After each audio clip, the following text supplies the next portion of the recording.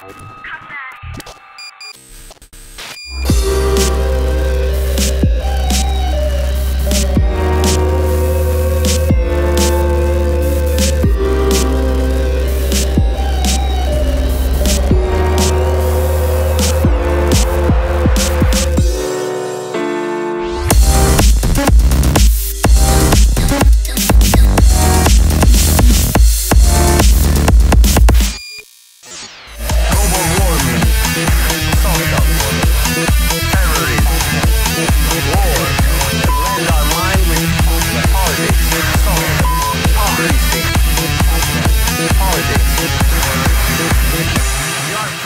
to do as we tell you.